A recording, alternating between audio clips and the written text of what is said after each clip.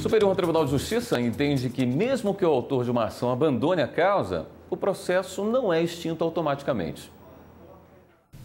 Para que um processo seja extinto, é preciso seguir alguns critérios. Este advogado explica que nem mesmo juízes têm essa prerrogativa.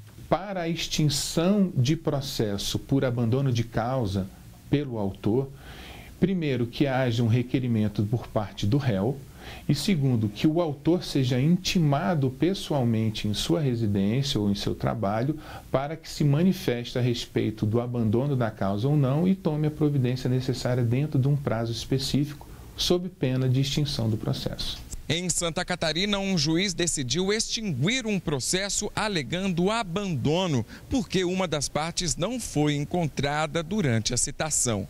A ação envolvia 20 cotistas de uma clínica médica que estavam desfazendo a sociedade, mas somente 19 foram citados. Por isso, quando o caso chegou ao STJ, a extinção do processo foi anulada. O relator do caso na terceira turma, ministro Vilas Boas Cueva, destacou que há inclusive uma súmula do tribunal facilitando a resolução de situações parecidas. A regra diz que a extinção do processo não pode ser determinada de ofício pelo juiz, depende de requerimento dos envolvidos.